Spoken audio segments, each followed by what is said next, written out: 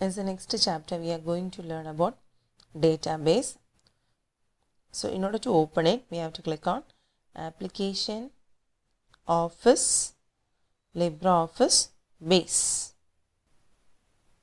Usually, in every software, we will save this file only after completing all the activities. But in database, we have to first save our file, then only we will be starting with our software. So, click on here next button.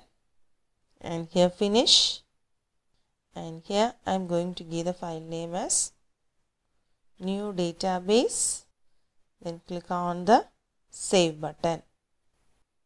So we got our window opened up. Here we can see the various options here. Tables queries forms and reports. So here we are going to create a table first.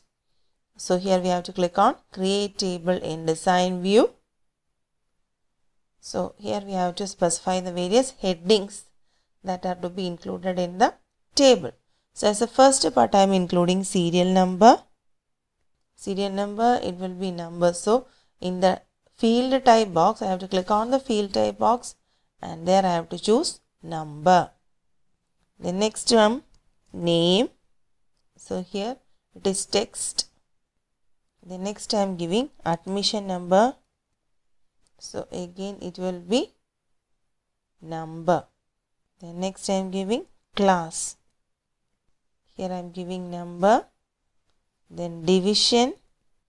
Here it will be text. The next is photo. So here in the field type I have to click here in the down arrow. Then I have to choose image then here? Marks. Number. So those are the various headings that we are going to include in our table. So here as the next part i have to set any of those headings as a primary key.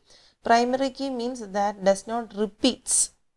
So here admission number won't repeat because as a new child joins we will be giving a new admission number. So admission number is a thing that does not repeat. So here right click on the admission number and choose primary key. Then now we have to save this. So click on file, save as.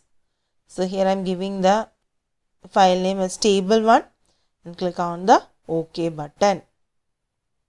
Now we will close this window and now here we can see we have created a table. So next part is we have to collect the data. So there we have to choose the option forms. And here we have to choose use wizard to create form. So here we got the window opened up. So here we can see the various headings what we have included. So here first I am going to give serial number. Then comes admission number.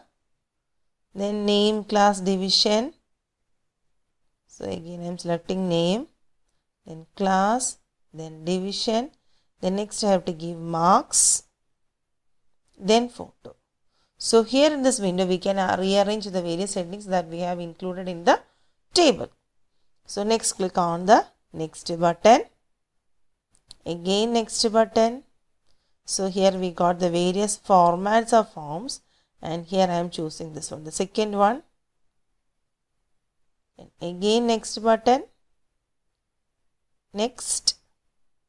So here we have the various color options. So from here we can choose any color what we want for our form. So here I am choosing blue.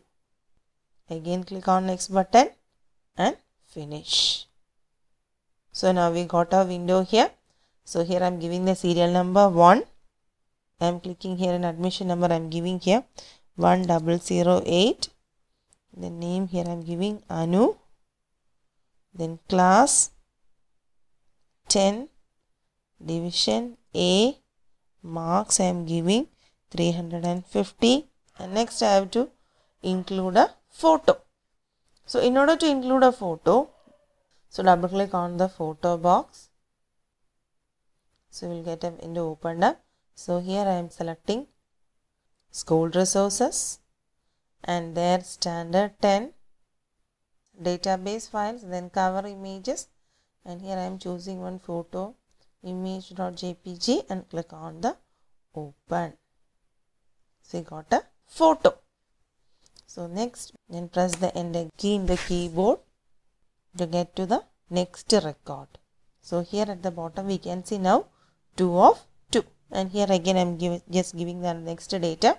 So serial number I am giving 2 and here I am giving the admission number 1026 then name I am giving Asha VS then class I am giving 10th division E.